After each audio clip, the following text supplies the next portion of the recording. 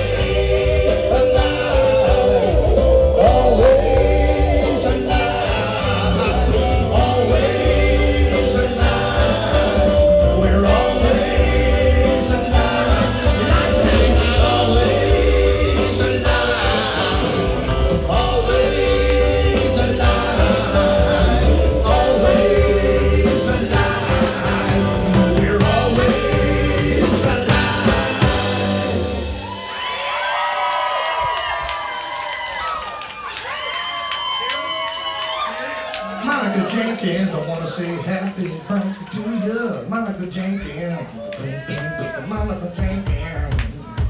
Monica Jenkins, it's your birthday. Monica Jenkins. Monica Jenkins. There she is. It's your birthday. Monica Jenkins. Monica Jenkins. It's your birthday.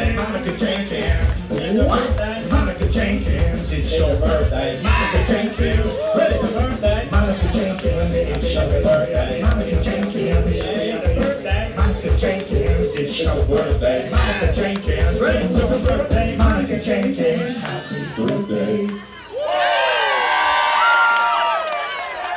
I didn't forget. Where are you? And Marcus, I didn't forget, man. Uh,